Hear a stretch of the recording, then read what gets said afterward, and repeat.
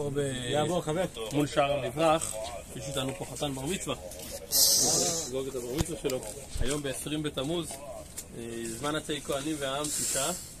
אז הזמן השני בחודש תמוז זה 20 בתמוז בני דוד בן יהודה.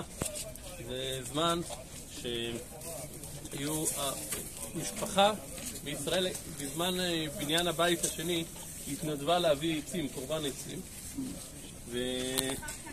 ולכבוד זה היה להם לדורות עד לחורבן וגם אחרי, היה להם יום שבו הם היו מביאים עצים למערכה. ביום הזה את כל העצים של בית המקדש היו מביאים מהעצים שלהם. אז פה יש חתן בר מצווה שזה היום שלו.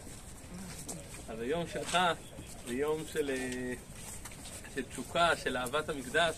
גם אחרי החורבן, אה, מחלוקת בתוספתא אם המשיכו לנהוג את זה ועד מתי. אבל בכל אופן זה נשאר. אז יום כזה, יום של תשוקה ויום של אהבת המקדש, אז אה, חתן הבר מצווה עולה להר הבית, לקבל על עצמו על תורה ומצוות, להגיד לקדוש ברוך הוא, אני רוצה לקיים את מצוותיך. אז השוכן במקום הזה יברך אותך, תבנה, שתצליח ותתעלה בתורה, במצוות, מעשים טובים, נחת להורים שלך, לכל המשפחה ולכל עם ישראל. אמן. מזל טוב.